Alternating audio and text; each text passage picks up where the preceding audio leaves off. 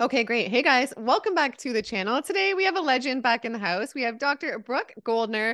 She was recently on, she reversed her lupus and she is changing the world, saving lives. She is incredible. So today we're going to talk about oxalates because she has inspired me and many other people since our interview to get on the green smoothie train. And they're just changing my life, making me feel amazing, especially with the omegas with the flax oil. And I've actually never had so many comments in my life about oxalates all these comments like, girl, you're crazy. You think you're being healthy. Just wait. Something's going to happen to you. And I'll just give it a comment for an example, and then we can get into it with your knowledge and expertise. So, this is a sample of what I am getting on the daily, maybe on the hour right now. And this says from Inner Circle, ha ha, wait till she finds out about all the oxalates. You think that is detoxifying? You are pouring tons of toxins into your system. So, if we could start with maybe for somebody who doesn't know, I think most people don't do know. But if you could just explain briefly what are oxalates, just to get started. Yes, absolutely. And, and thanks for, for having me on to talk about this because it does pop up and uh, it's just the newest kind of counter argument to eating healthy. And on one hand, it makes me laugh. On the other hand, it makes me cry because it's just a lot of mythology. And uh, so it's great to be able to, to help people understand this. So I'm just going to go after this topic here. I, I woke up ready. Like, let's just let's just talk about oxalates and then we can stop talking about oxalates. So, so the reason people talk about them, right, uh, is that one in 10 people in the in the US get kidney stones. And the most common type of kidney stone is an oxalate kidney stone. Now, also, fruits and vegetables, especially certain vegetables like spinach, beet greens, and chard, are high in oxalates. And so, what some folks are doing is they're then drawing the conclusion you're eating foods high in oxalates. One in 10 people get kidney stones, or you're going to get, you know, kidney stones because you're eating high oxalate foods. But let me ask you this, Gillian. Do you think that one in 10 people in the US getting kidney stones, that one in 10 people in the US are juicing and drinking green smoothies? Yeah, no way, no chance. Good point. No, actually, uh, and they've known this like even back when I was in medical school, we're talking 20 years ago, we were taught that what gives you a risk of kidney stones is dehydration and high intake of animal protein. Now that makes much more sense, right? Because definitely more people in the US are overdosing in animal protein, are dehydrated, and that makes a lot more sense. So, you know, it's it's a false equivalency where people are saying, "Oh, you know, if you're eating high oxalate foods, you're going to give yourself these problems." So, let's just talk about it. So, yes, they're found in fruits and vegetables, mostly in, you know, the highest level is in spinach, as I said, beet greens, chard. And so when people make smoothies, a lot of times they use spinach. And so that's where the concern has come from. But really, when it comes to diet, we don't actually absorb that much of the oxalates from our diet.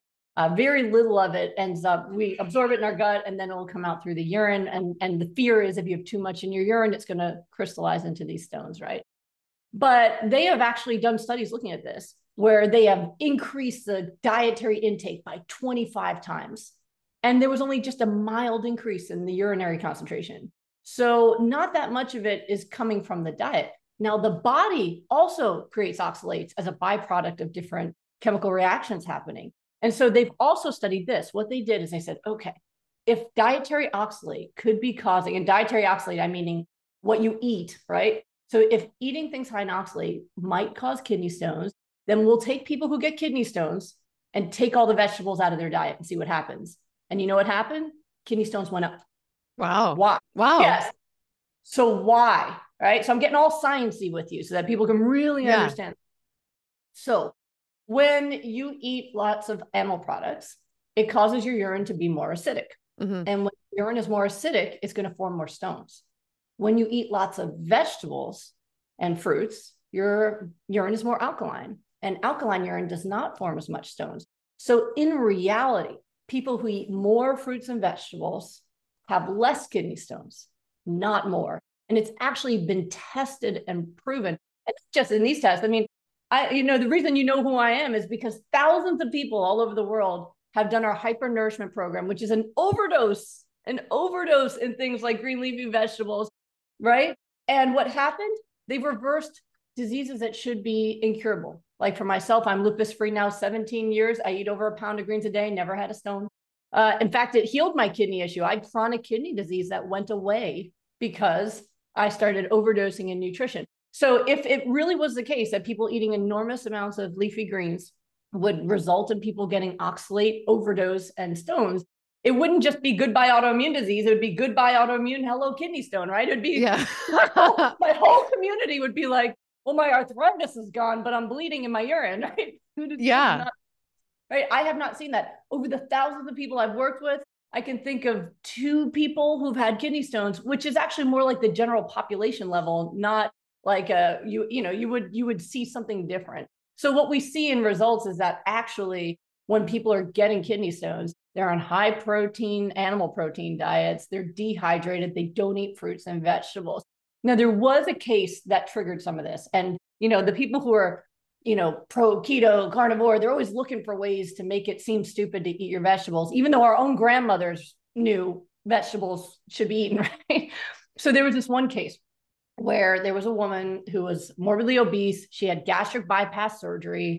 She was on tons of antibiotics and she decided she wanted to get healthy and do a juice cleanse, which good on her, right? Yeah. It's probably the best decision she had made. And she went on a juice cleanse, primarily juiced spinach, and she got a kidney stone. And so they published the case that someone juicing and having spinach as their juice got a kidney stone, a one person case, right? Yeah. And so then the one of the theories they proposed was the high oxalate intake precipitated this kidney stone. But here's the reality. I already taught you all the reasons why that's not the case. But there are certain things medically that can make you more likely to get a kidney stone. And one of them is gastric bypass surgery. So she had gastric bypass surgery, which raises her rate or her risk of kidney stone. She also had high levels of antibiotic intake. Now, the reason that's the case is we actually have a bacteria in our gut that absorbs and, and digests and gets rid of oxalates. It's called oxalobacter. And Yeah. if you're taking high amounts of antibiotics, you might have murdered and killed off some of that bacteria. And if you can't destroy oxalate, you're going to absorb more, which raises your risk of kidney stone.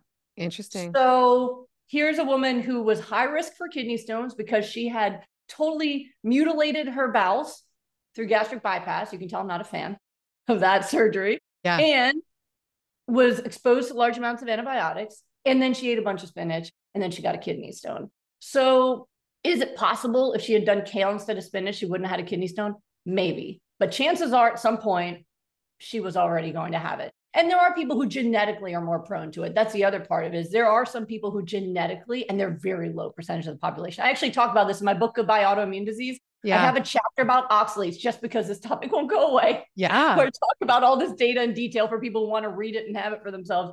But um, there are people who are genetically predisposed, very low percentage of the population. And again, they found it's not related to diet, that they don't need to overdose in spinach to get stones. They're going to get them anyway.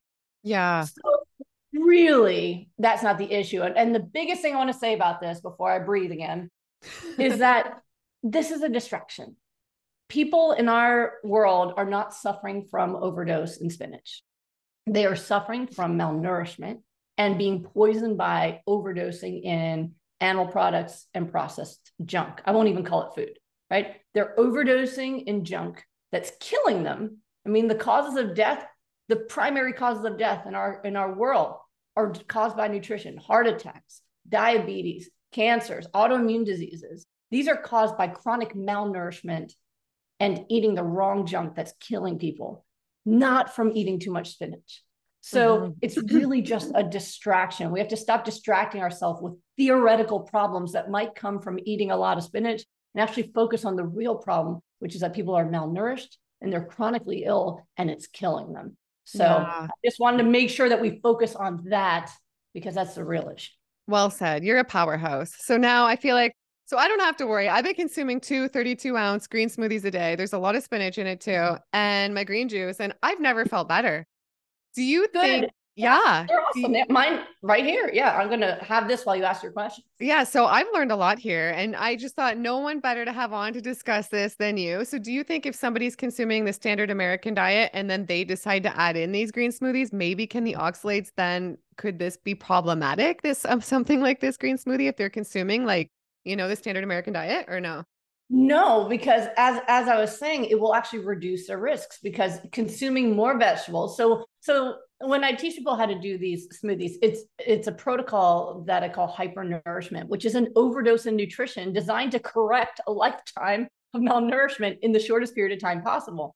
And what we find is even when people add these smoothies to a diet that's otherwise inflammatory, their health gets better, right? Yeah. They get better. Constipation goes away, you know, which improves mood, right? Yeah. And then, uh, you know, blood pressure comes down, cholesterol comes down, gut health goes up. So remember what I said how alkaline urine will have less stones. So by increasing vegetable intake for the majority of people, increasing vegetable intake through these smoothies will actually reduce their risk of kidney stones. You know, my husband used to get kidney stones before we met. Wow. And he was a bodybuilder guy, right? Yeah. And was eating bodybuilder diet. So he was eating tons of meat every day and he was getting kidney stones. And I can tell you, since the day he switched to eating plant based, and the man, he drinks one to two blenders of green smoothie a day. He has never had a kidney stone. Wow. So it makes sense, right? Eating large amounts of animal products, kidney stones, eating large amounts of overdosing in nutrition, especially yeah.